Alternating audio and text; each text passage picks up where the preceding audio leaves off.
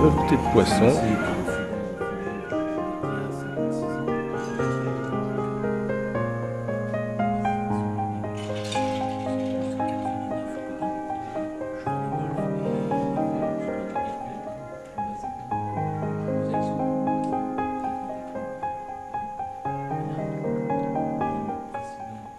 continuer donc les quenelles aux trois saveurs, donc une quenelle nature, l'autre aux écrevisses et pour terminer aux champignons.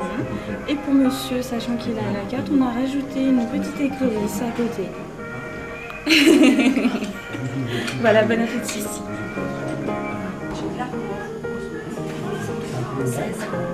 T'es morte avec une chocolat. Ah.